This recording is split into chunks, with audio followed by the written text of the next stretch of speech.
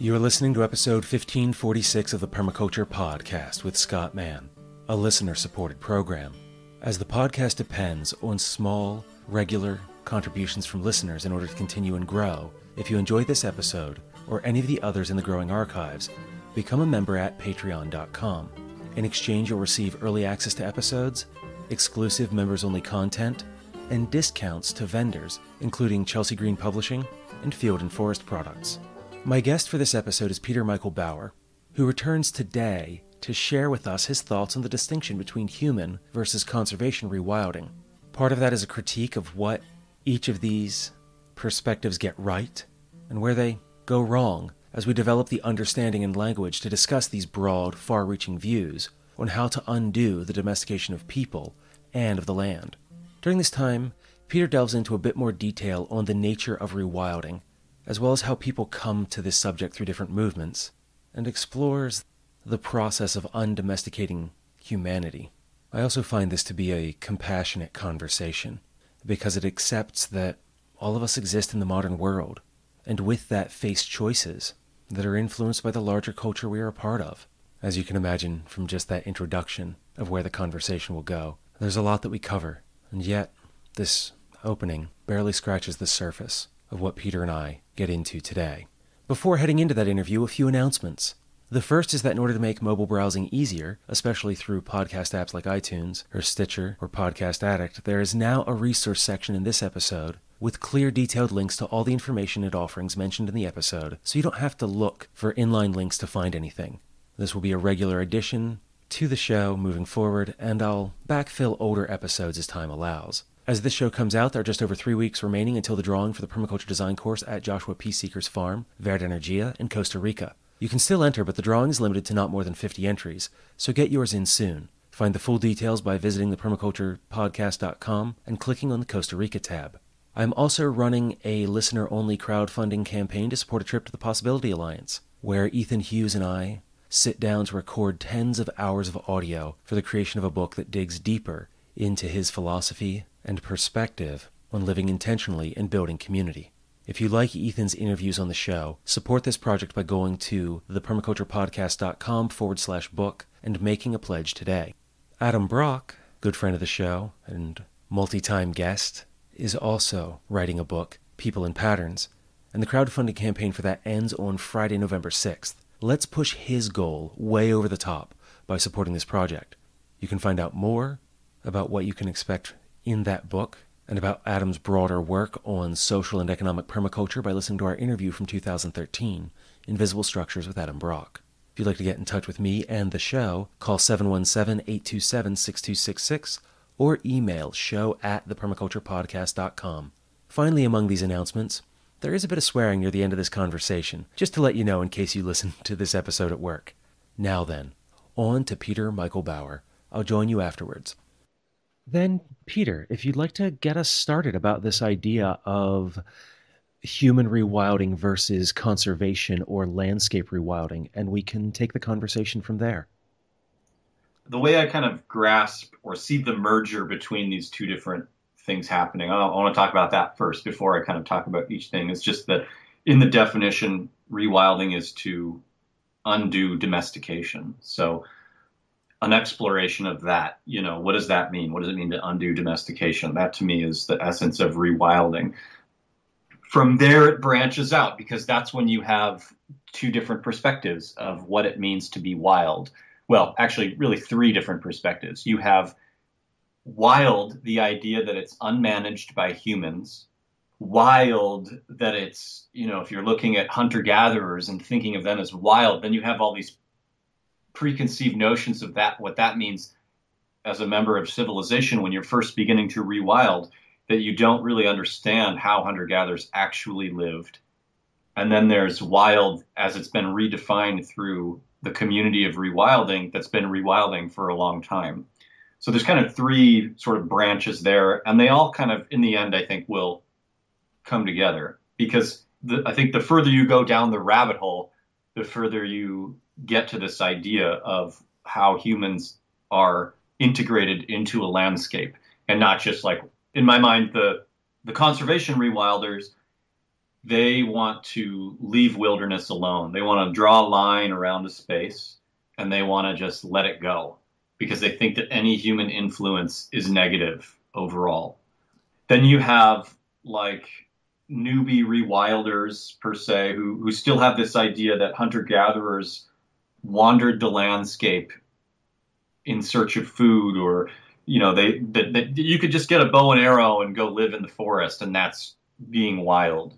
They haven't done the research yet of how humans integrate into the landscape how we don't wander the landscape. We have seasonal routes. If we're nomads we have seasonal routes that we that we work seasonal circuits that uh, some people refer to as hoops on the landscape uh, you where you go from garden to garden it's not like you're just kind of wandering aimlessly and I think that's a huge step between understanding that wild, in terms of hunter gatherers, is managed. Hunter gatherers do manage. So then it becomes a question of, well, what does wild even mean? You know, if you have this idea that wild is un, unmanaged by humans, then how could you consider hunter gatherers wild peoples at the same time? Because if they're managing the landscape, you know what I'm saying? But the thing is, is all wild animals manage the landscape. Manage the landscape. I think we talked about this last time too, where you have like jays that plant acorns, and then years later, those acorn trees are feeding the future, or those oak trees are feeding the future generations of jays. You know, there's a, a uh, reciprocity that happens there,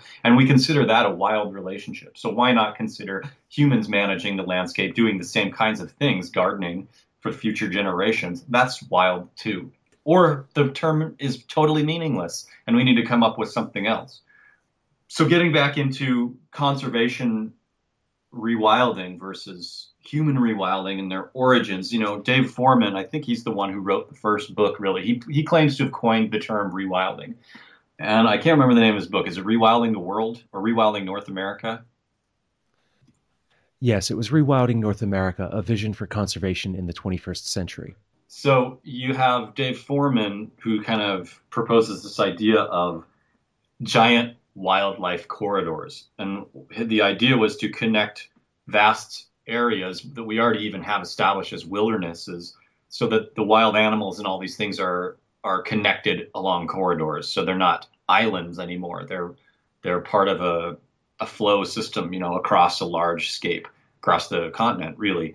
And then you would corral human civilization into these little places.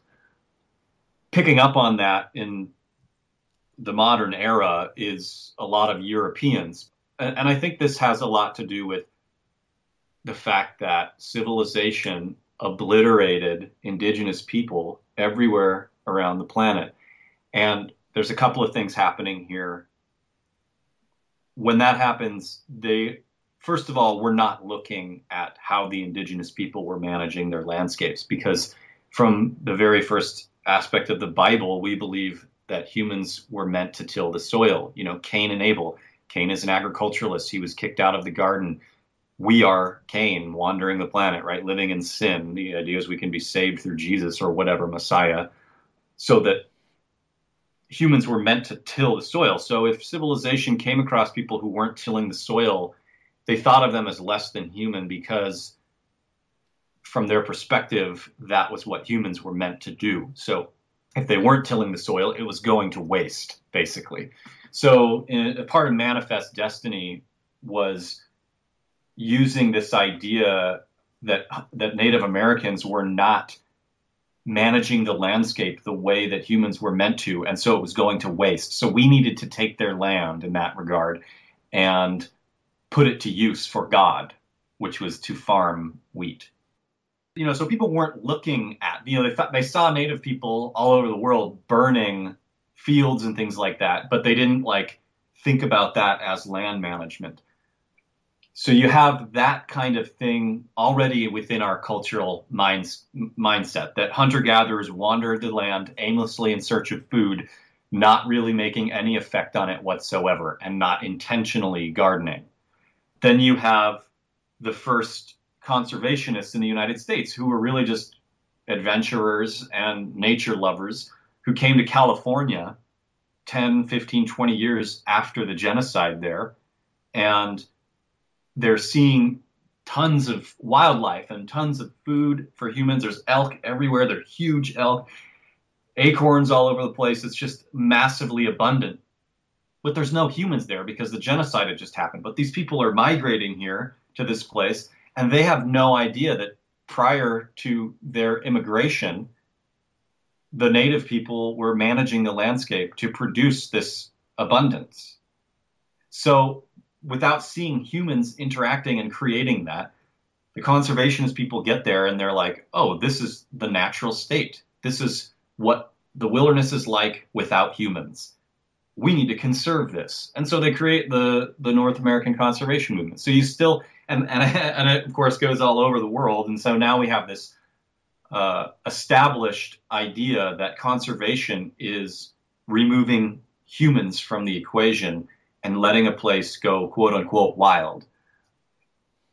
There's another element that's coming into play too, which is through modern anthropology, particularly in the Northwest coast or just the West Coast in general, from California all the way up to Washington. You have people that are actually listening to Native Americans, people from civilization that are in positions of power through anthropology and things like that, who are actually studying and discussing things with Native people and finding out that they do in fact manage the land and that they have been for thousands and thousands of years. And then you can see that echo across the planet. You can look at these other native people and see how they're managing it. There's a new book came out recently called uh, "The Largest Estate in the World," and it's about Australian Aboriginal land management. And that book echoes some older, not old, but older books from the mid 2000s uh, about the Northwest Coast, which is Indians fire in the land in the North in the Pacific Northwest, keeping it living, and tending the wild by M. Kat Anderson. And they all go through heavily how hunter gatherers and horticulturalists manage the landscapes and to what degree. You know, there's a, there's degrees of intensification of food production among all different cultures. At, at some point, you have immediate return hunter gatherers, then you have delayed return, then you have uh, you know people practicing horticulture and so forth. There's a, a spectrum there. That information is relatively recent, and there's an interesting book out now called Restoring the Pacific Northwest, and on the cover of it is uh, an oak savanna being burned. it's funny to just have a, a fire on the cover of a restoration book but that's because people are understanding you know you have this idea of what a pristine wilderness was in the northwest. Well that pristine wilderness was managed by humans. So you restore a particular piece of land to what you think is the natural way that it should be here. But you don't include that indigenous human relationship to that land. And within 10 15 years it's gone. It's overgrown. There's weeds. There's all kinds of stuff that have come in there. And people are pulling their hair out. They don't understand what's going on. They're like well we restored this. This is supposed to be the stable ecosystem. What's missing? They have no idea that the human component was what created that. Now that's changing because of people like nancy turner and doug Deur and M. Kat anderson because these anthropologists who have a position of power are communicating with elders from tribes up and down the West Coast and are able to get this information out, and now it's spreading. But you still have places in Europe, and I think you know George Monbiot's book Feral, who's which is kind of the European version of Dave Foreman's book. Again, it's it's this old idea that humans are bad and humans destroy landscapes, and that makes sense for that to be sort of rooted in, in European mythology because they don't have anybody to study over there. The Romans killed every horticulture village that was left, you know. So there's no understanding of how indigenous people of Europe could have managed the landscape in a sustainable way. So that's conservation rewilding. It, it's missing the human component, which is very, which is severe, I think, to its to its progress in a sense. Whatever I, I hate using the word progress, but to its success it's missing the human component, aside from also missing um, an articulation of hierarchy. I mean, the idea of, or the power structure rather, of civilization. I think this idea of shrinking cities or, or, or corralling civilization into a, into a little spot while opening up these wildlife corridors would be a great transition to another way of life. But it, unfortunately, it completely ignores the economic basis of civilization, which is continuous growth. And there are mechanisms in place that will stop that from hap- stops anything like letting wilderness areas go from happening. I mean, it makes me think of like um, the first time I peed in one of those urinals that's a non-flushing urinal, and it says congratulate you know there's a little plaque above it on the wall i'm peeing and i'm i'm reading the plaque and it says congratulations you just conserved by using this urinal you're helping to conserve 40,000 gallons of water per year or something like that and my mind i just thought immediately you mean i'm giving $40,000 to a corporation instead this idea of conservation is great but what it's really doing is just putting things aside for whenever corporations and the government want to take them. At the end of the day, they're going to take them. And that's what we see over and over again. I mean, if you look at national forests, those are supposed to be protected public lands, but they're treated like a, a Douglas fir monocrop here in the Northwest. I would have to dig it up, but I believe there's a reference that I have in one of my textbooks about how that land was put aside for the good of the American people. And as time has changed, what that good means has as well, to the point that we reach this space of extraction because then that becomes products for the American consumer. And with what you laid out, it makes me think that the forces that would have to change in order to allow for that space of wilderness and for human beings to move into cities and to conserve that area in some form right now as things exist that would only occur if it benefited those who would be extracting those resources later to sell back to us. Exactly. You have another conundrum there too with cording off wildlife areas is indigenous lands rights issues.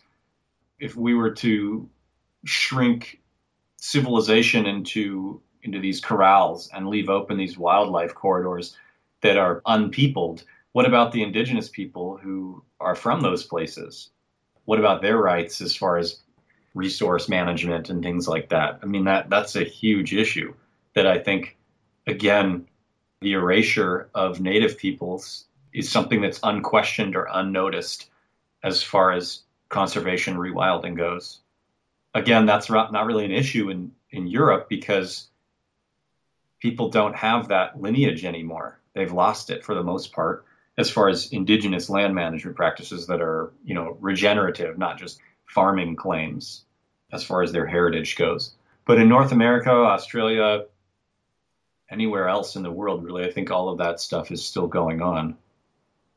Which makes me consider many of the tribes that have been moved to reservations in the West originally came from the East and were pushed right. further and further away from those ancestral lands. Or like the First Nations people in Canada, from some figures that I heard recently, they're the most imprisoned portion of the Canadian population. So they've also been removed from the land, but rather than pushed to particular spaces, being pushed into prisons. That's crazy. The way that that disconnects then from the cultures that are required in order to remove to those lands to have the stories and the wisdom of the people who came before us. Yeah. Okay, so now I'm going to talk some trash on, hu- on human rewilding, which is what I do not trash, but to just talk about the the problematic parts of rewilding with humans. So before you get too far into that, there was one thing that you said earlier that I wanted to touch back on was about rewilding is to undo domestication. And I was wondering how you would see people being able to undomesticate themselves, what that process would involve, and how that impacts where you're going to go about kind of talking trash on the people rewilding side of things. Because in reading some of the material that I've seen from the rewild.com Facebook page and some other places, there does seem to be a disconnect from moving towards that undomestication as a person and what that means, as well as then the human rewilding process and how in some ways that's also being adopted without giving respect to those who came before who share those lessons Yeah, well, this, this so I'll go on the journey. I'll start okay. at the beginning. So there's been a, a push to connect with nature for a long time. You know, I mean, it's when I was a teenager, I got into Tom Brown Jr.'s books. He's a survival teacher, has a lot of what he would call Native American folklore. Probably I wouldn't refer to it in that way, but it got me inspired to think about what it means to live an indigenous life way. And so I started to study that for myself through anthropology mostly, and later through studying with different Native people, and later through researching my own ancestry through archaeology in Europe. But prior to that, you just have this idea of wanting to be a hunter gatherer. I mean, the main thing, the main, my main impulse for it was collapse. Like a lot of people come to rewilding for many different reasons, but for me, it was collapse. I read Ishmael by Daniel Quinn, and I was like, civilization is going to collapse tomorrow. I got to learn how to survive in the woods. From there, it became eventual, an, an eventual just a lifestyle of learning these skills because you realize you can't learn them right away, and survival is not the same thing as ancestral life ways. And you know, there's just it's a lot more complex than I had given thought. Eventually, I came to anarcho primitivism through uh, the Green Anarchy magazine and realized that I aligned with those ideas more than anything. I hadn't there hadn't really been a word for I guess my political belief system, although I hate to label myself as anything. So I never really even though anarcho primitivism you could somebody would easily hear me describing what I believe in and decide to label me that. I just hated the label, so I never used it.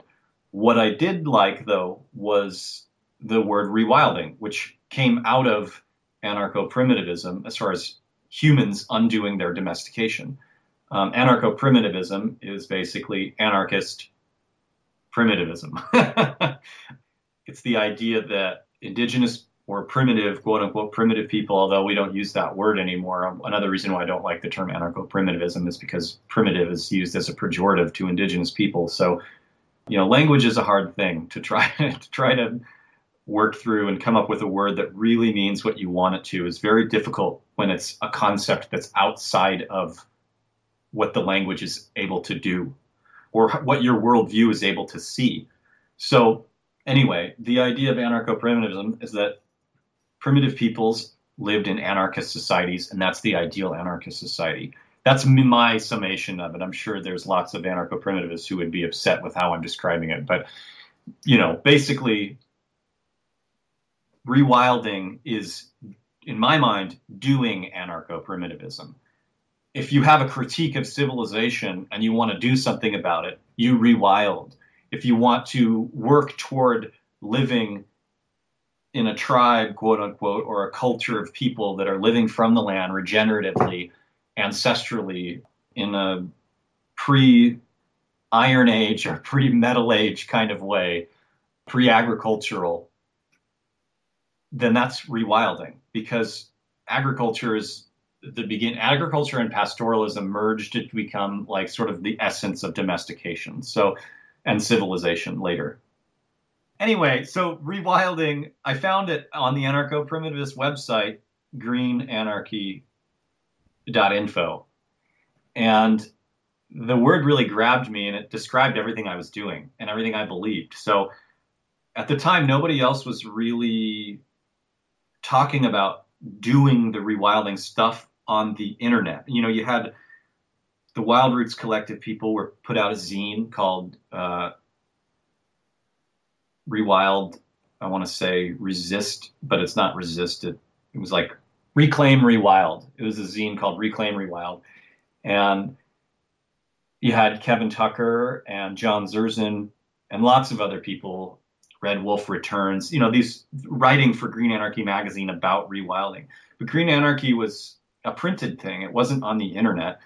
And I love the magazine for the content, but I just I, I didn't really like the aesthetic of it, to be honest. So I created rewild.info because to me that was right when I was interacting with people most on the internet. And you know, magazine is great, but what do you do when you want to talk to people about these ideas?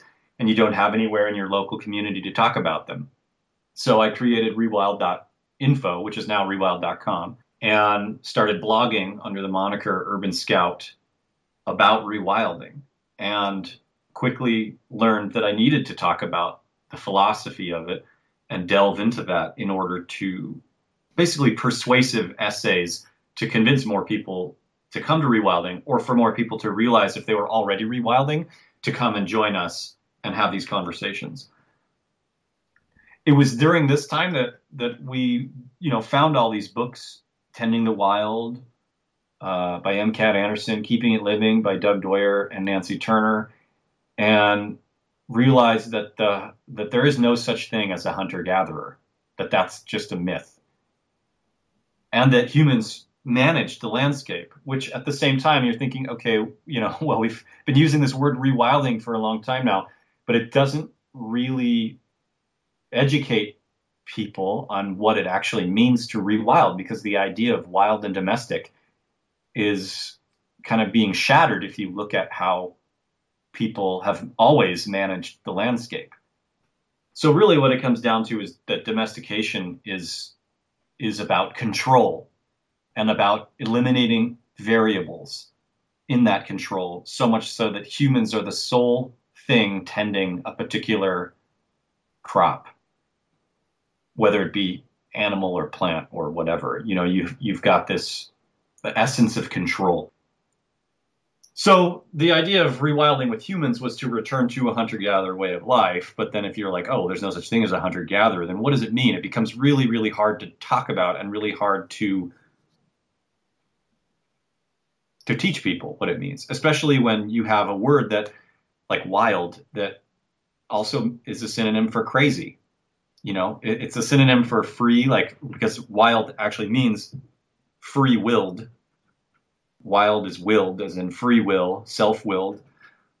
But that's considered crazy if you're trying to control something. You don't want it to have its own will. So that's the difference between domestication and wild, really. But how many people who get into rewilding initially know that? Not a lot of people. So this is where you have like the human rewilding split kind of happens this way, but it's not really a split where people diverge paths it's more of a an influx. You have people coming into rewilding from two different directions, really. And one is this paleo lifestyle expansion, because paleo diet is, you know, the idea that our ancestors had a better diet than we have today, which is undeniably true. Archaeologically, anthropologically, everything. Defining the paleo diet is pointless because every human culture had a different diet all over the planet. So you can't say, the paleo diet has no grains because that doesn't make any sense. There are paleo diets with grains, for example.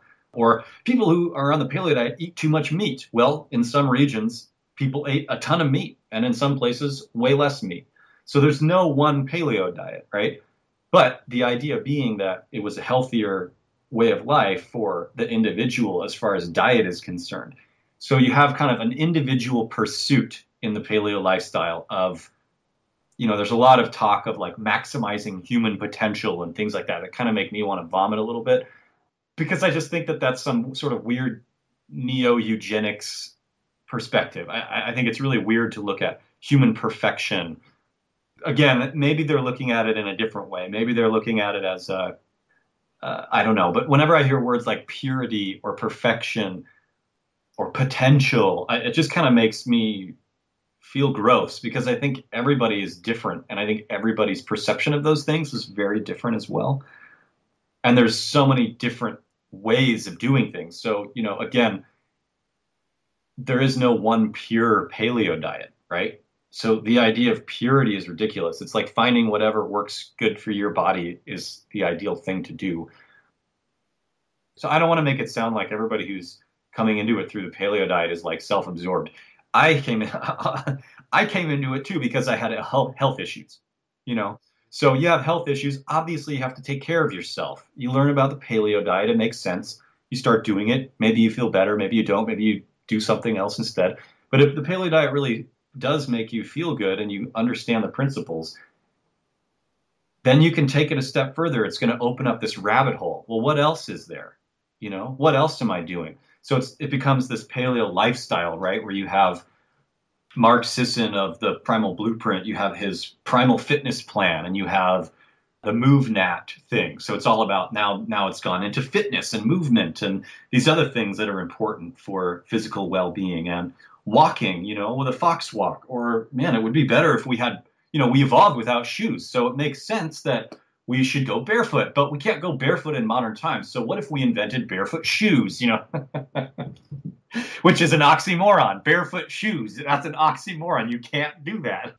So then, you know, if you follow that down the rabbit hole and you keep going, well, what about my relationships with people? What about where I get my food? Maybe I should start foraging for wild food. And then you have people foraging for wild food. And that's when they can eventually match up with people who've been doing it for a lot longer. But it's just frustrating because I think everybody has to go through that process in a way. Any which way you come from rewilding, you're going to go down the rabbit hole and you're going to meet each other down there if you keep going. But it seems like there's a, a push for people to just like get their 10 minutes a day in nature so that they feel better rather than trying to undo domestication to the fullest extent possible. They're doing this idea of hacking their life, which is like circumventing having to attack a root cause of something and getting a result without actually changing anything at all. I can wear barefoot shoes and then it's like I'm a hunter gatherer instead of trying to dismantle the culture that created shoes to begin with or whatever, you know, or create a culture that doesn't need shoes at all. It's weird to to even consider it a radical element of rewilding because it is rewilding. Rewilding is the radical philosophy of abandoning civilization and undoing domestication to the fullest extent possible.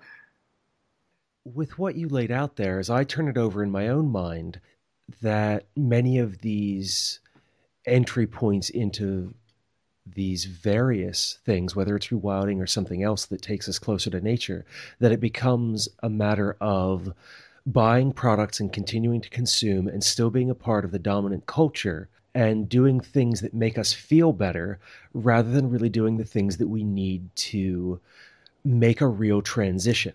Absolutely. Yes. Al Gore's movie on climate change was revolutionary in that it just educated so many people about the problems. But then at the very end, what's his solution? Well, we just all need to change the light bulbs in our house. I was furious at the end of that movie for that reason. And I get furious when I see people doing that with rewilding. Of course, that's kind of the inevitability of a subculture is once it reaches some sort of critical mass is when it you know oh somebody's going to figure out how to make money doing it and the way they're going to make money doing it is making it broadly appealing and consumer based that's just the, an inevitability of anything really the question is will that growth help or hinder the actual revolution? And I hate using the word revolution, but in my mind, rewilding is a, is a revolution. It's a transformation of power because we're walking away from civilization. We're saying no. So here's where I want to get into the divisions of people that are rewilding and sort of the idea of uh, of the social economic network of the rewilding movement as opposed to radicals and non-radicals in rewilding. I think every little push to get further into that way of life or or to keep it there is a benefit. Everyone has limits to the extremes they're willing to go to get the way of life that we know we need and I mean that in the sense that, you know, we're all captives, to use Daniel Quinn's language. We're all captives of this story. And we have another story to live in now. Rewilding is another story. We can see that there's another story, but that doesn't mean we have the ability to walk over and be part of it without having to sacrifice a lot of of our own comforts within civilization. So I think everybody has a level of what they're able to do and what they're passionate about, really. So you have people who are like sitting in trees, for example, political activism that are preventing forests from being cut down. That's rewilding. Uh, you have people planting out native plant gardens in their backyard. That's rewilding. You have, you know, a person just doing paleo diet wearing barefoot shoes. I don't know if that's rewilding. they might be re- rewilding their body, but they're not rewilding anything else. And to me, rewilding, first and foremost, means living a life in service to the land and community around you. So if that's not part of it, then it's not rewilding really to me. Because it's a cultural transformation, it's not an individual transformation. There's an individual transformation that happens when you become part of the culture of rewilding. And that's the part that is sellable, and that's the part that's being extracted and sold. And that's what's frustrating, you know, is, is the same thing. It's like, well, yeah, you can do things that are going to make you feel more wild, but that's not going to actually change the culture. But everybody has like their limits of what they're able to do. I'm not going to go sit in a tree. You know, I'm not passionate about that. I don't want to get arrested. I fully support the people who do that, and I think they're brave and courageous warriors. And I wish I had the guts to do something like that. I don't. So instead, I'm going to do whatever I can, which is to educate people on ancestral life ways, through my nonprofit, Rewild Portland. You know, I'm going to keep getting the ideas out there that we need to do different things, change the way we're living, and try to create that as much as I can working within the system. I'm not one of the people who is going to go live on the hoop with Finisia Medrano and basically live on the edge of the law. I'm afraid. I have health issues that prevent me, but I honor them and I send people their way all the time. And the goal is to create those kinds of life ways, you know, to recreate them or to find them here. Of course, there's something that's also very problematic in human rewilding, which is in North America at least, which is that you've got native populations fighting the government for their property, for their land rights, on the front lines of a genocide. And then on the other end, you have white privileged people dressing up in buckskins and going and foraging and hunting and gathering and getting on TV for it and being being like honored in a way or or you know sold to the American public as a cool edgy thing which is a massive problem. And and I think that the problem is solved by recognizing that as rewilders we have to ally with indigenous populations in their struggle for their land rights and their cultural traditions. And to be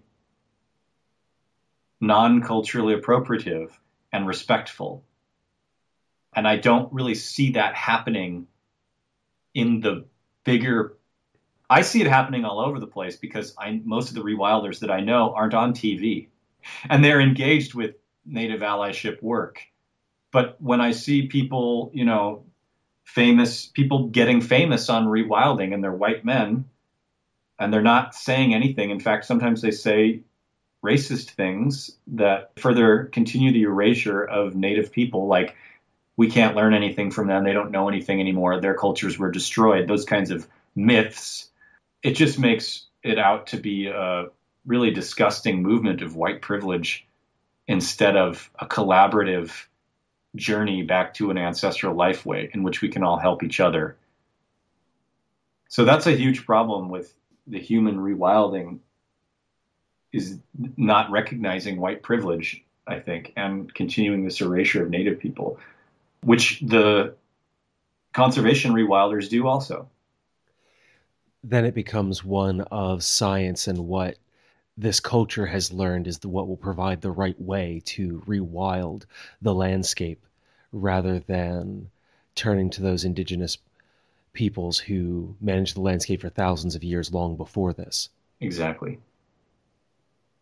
And that's not to say, I mean, there's an idea of like romanticizing indigenous people too. And that's not what I'm talking about either. There are cultures who, all over the world, that accidentally destroyed their landscape, you know.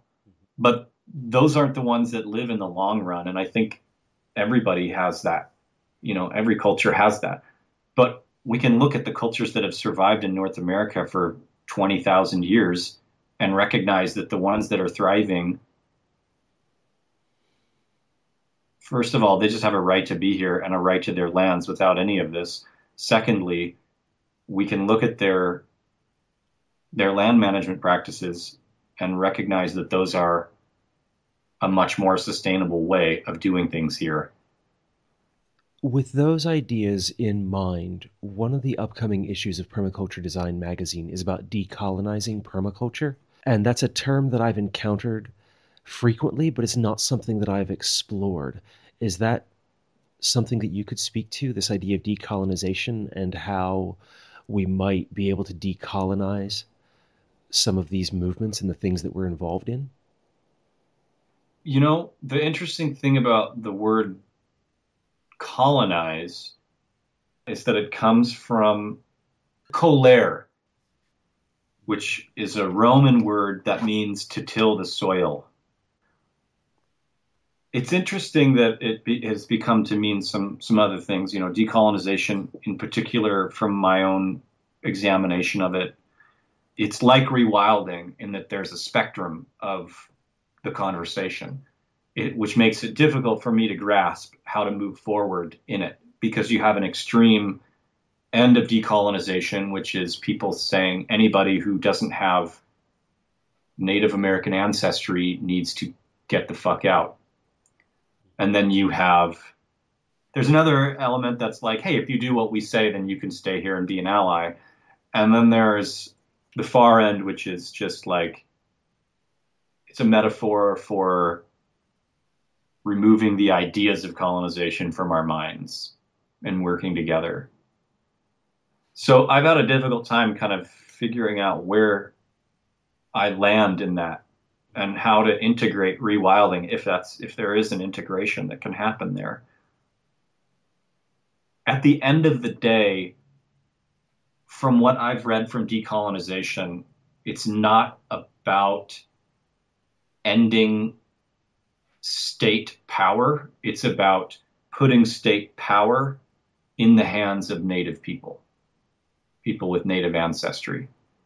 From where I stand as a rewilder, I think that we, you know, as an anarchist, I think that state governments are not an ideal way of humans to live, and I think that not going that far is detrimental. And from some of what I've read about decolonization, there's things that say we don't we're not nostalgic for the way our people used to live. We want our own right. We we want to be able to control our own lands, which makes perfect sense, and I don't argue with that at all. Of course, from an anti-civilization perspective, it doesn't seem to quite match up with wanting to dismantle civilization entirely and to create hunter gatherer bands or recreate or integrate into them. As it stands, much of the conversation still continues to perpetuate the system that currently exists. It just moves power. I think it's partly that, but I think it's also, I think they look at power differently than civilization. And I think that part of decolonization is looking at that power differently. But like I said, I don't really, from, there's so much that I've read that is not necessarily contradictory, but that's there's a diversity of what that word means in the same way that there does, there's a diversity of what rewilding means. So it's been difficult for me to to plug into that. I think it's the sort of the latest buzzword for people who are looking to ally with native people. I think that they want to learn what this means.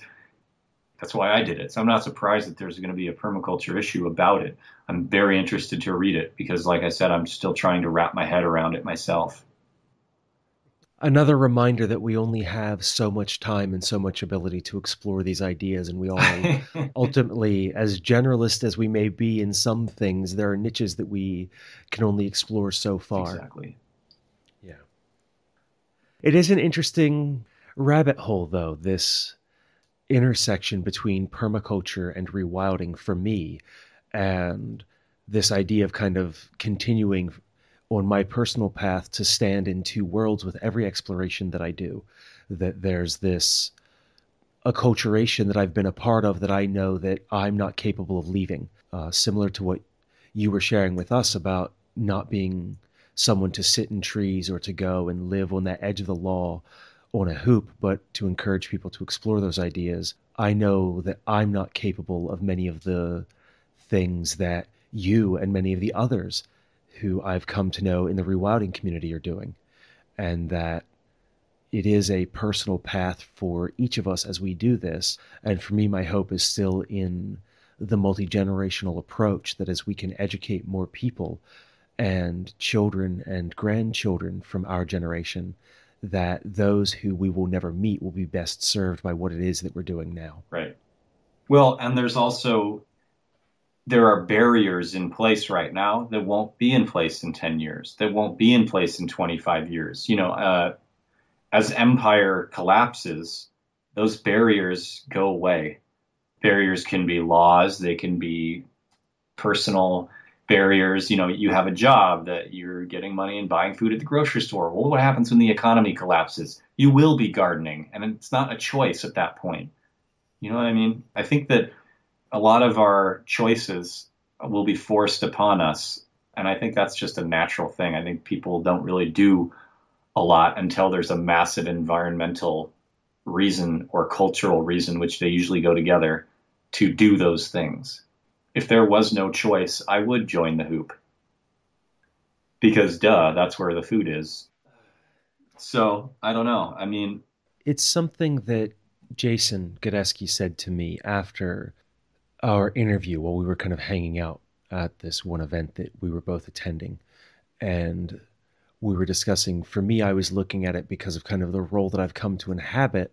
And as a result of that, I've come to have kind of a focus on the personal responsibility aspect of things, which then turned into Jason countering, and I don't want to put words in his mouth, so I'm just going to paraphrase as best as my memory allows, was about how, similar to what you were saying, we're caught within this system and that the space that we're in is systemic that limits the choices and options that we have. So is it all a matter of personal responsibility with what we're doing? Or is it that we're in a place that we can accept the system that we're in and the pieces of it that we can't change while still kind of blending that idea of personal responsibility without it being a smokescreen for these other things to start pushing those boundaries for ourselves and others. Yeah. Yeah, I think it's a combination of both. For me, in my mindset, too often it becomes that binary of one or the other. Right.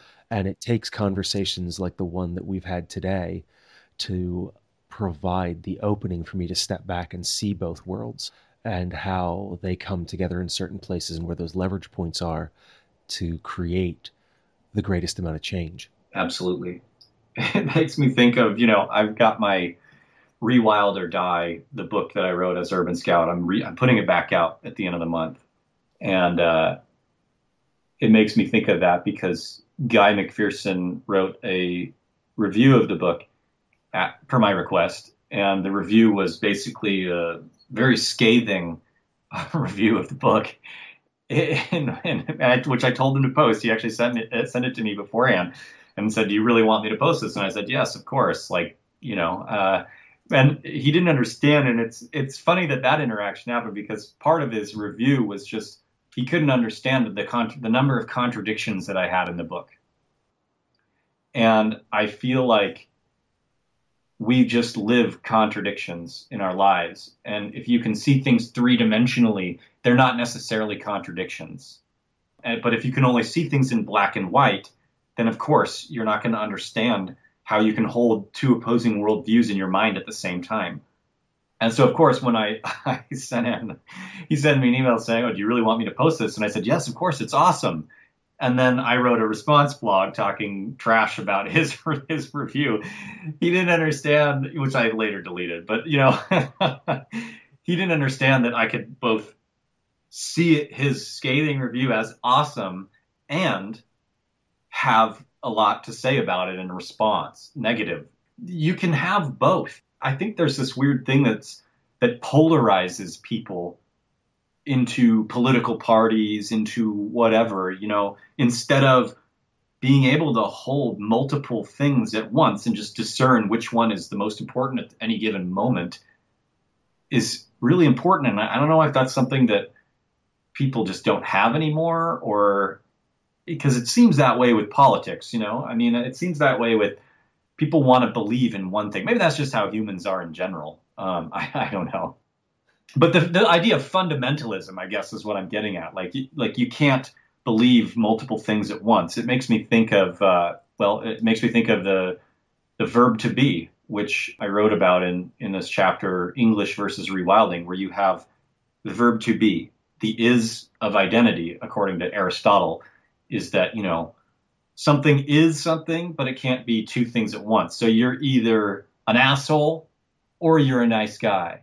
You can't be both at the same time because that doesn't make sense. The is of identity is God in a sense. It, it, it puts things in these static shapes. And these scientists figured this out in the early 1900s, and they were because they were viewing a an electron through different instruments. And through one instrument, it was a wave, and through another instrument, it was a particle. But something can't be both a particle and a wave. It just was scientifically impossible in, in their minds at the time. And so they realized that they couldn't say this is a wave if it was also a particle. So they came up with this they came up with this thing called E prime, which is English without the verb to be. The idea was it was a more accurate representation of reality because the is of identity is a false representation of reality. It puts things in a fixed state, but nothing is ever in a fixed state.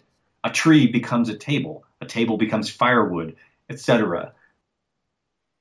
A, a person can act like an asshole. They can also later act like a nice person, but they are not they are not either one of those things necessarily. And so they came up with this idea of E prime, which I actually wrote my book in E prime so there's no verb to be. Be, is, was, am, are, were, nothing in the whole book. And I, I learned this from my friend Willem, who's super into it. He still writes in E prime. But it, this idea of something having to be one way or the other, I think, is central to a civilized, civilized way of looking at things. I don't think you can really have those same conversations in languages that don't have the verb to be and most languages don't have a verb to be unless they're Latin based, which is just interesting in, in and of itself. You know, it makes me think of German, where you don't say "I am hungry," you say "I have hunger." Anyway, that's going off on a whole other tangent. No, that's okay. It's my exploration of language has been Latin, French, Spanish, English, so thinking of, of language without to be is a little hard yeah. for me to wrap my head around, but it sounds like I'll have to do some additional reading. But what you touch on there, that idea of being an asshole, but also being a nice guy, reminds me of what we were talking about before we really started recording about, you know, the justice system and judicial actions and how on an interview that I did on restorative justice, that conversation touched on the idea that we are more than the worst decision we've ever made, but it sometimes is hard for that understanding to be made. Mm. And especially in you know the justice system where you're being tried for a particular crime and that you know at least from the police procedurals and everything else that I've ever seen from like from American pop culture is that it focuses on that action more so than anything else. Totally. Yeah. Interesting. Yeah, I like that phrase that you said. We're more than. We are more than the worst decision we've ever made. Yeah, that's great. What you were saying about fundamentalism, there was a conversation that I had with a minister many years ago because I was trying to wrap my head around some things because of the background that I came from regarding my, my family's faith tradition and how certain passages of the Bible were used to justify certain actions and yet in that same chapter particularly leviticus comes to mind for this you know very often in that same chapter that same book can be another rule or law about something can speak to with a certain moral authority, and yet the people who are using passage A to condemn something then ignore passage B. Right.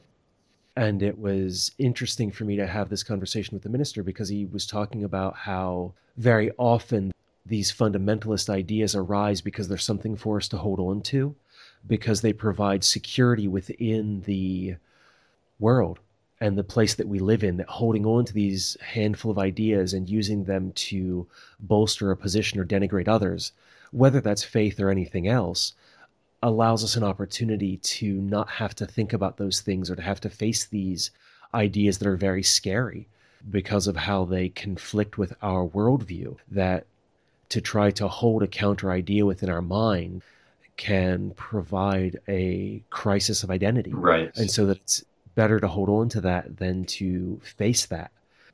Interesting. Yeah.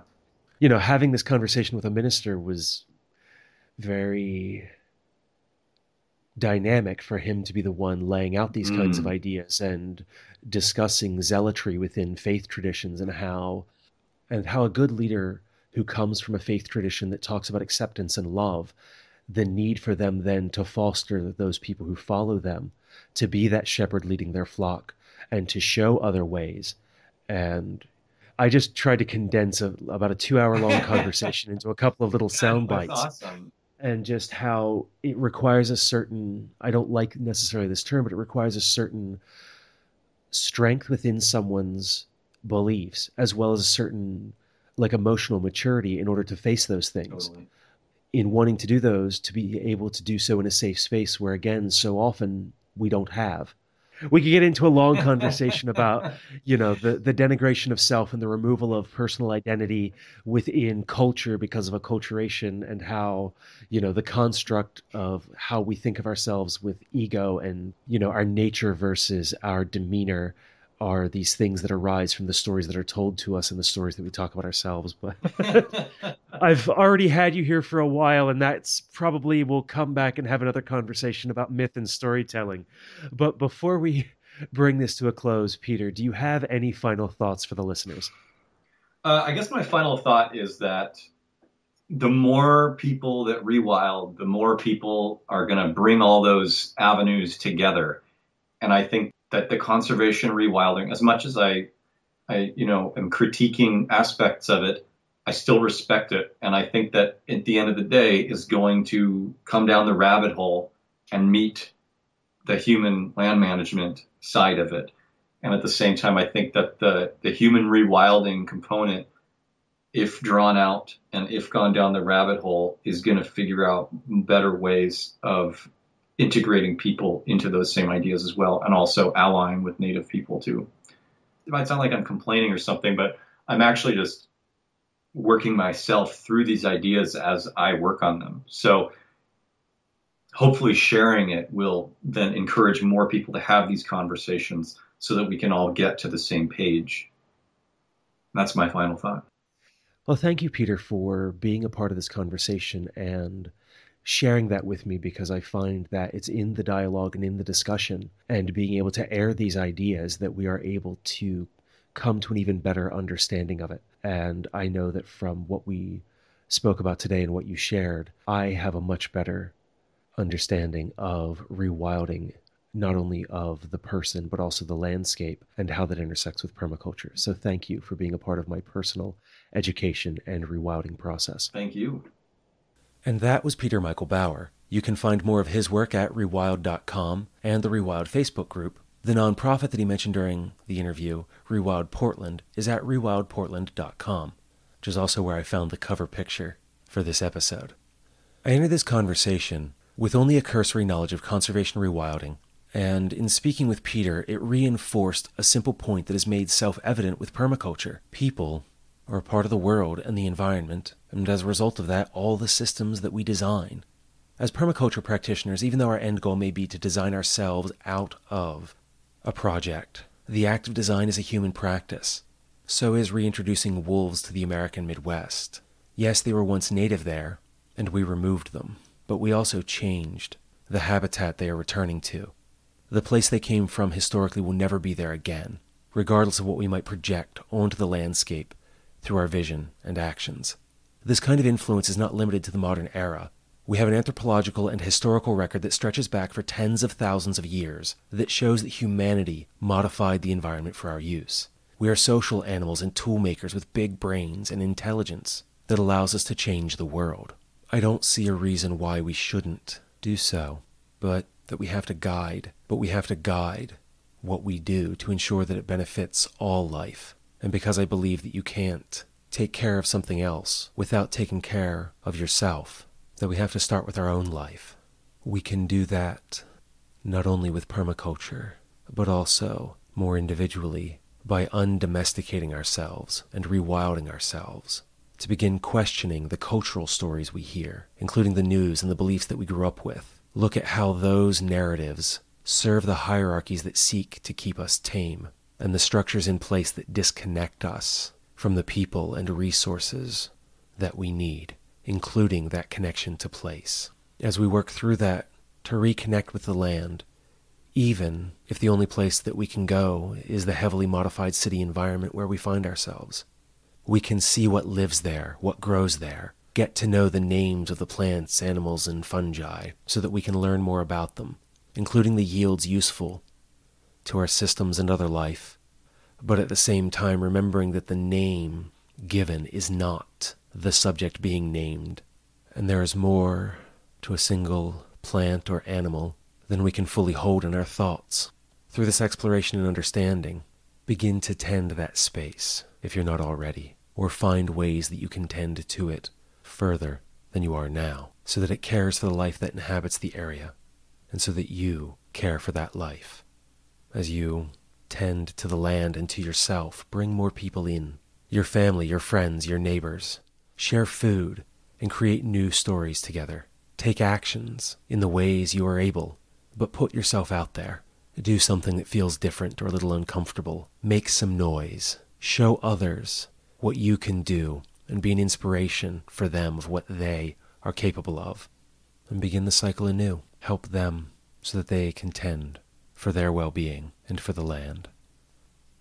Just as we are more than the worst decisions we have ever made, we are also more than the worst decisions our culture ever made. Let's go make some better choices and take care of Earth, ourselves, and each other.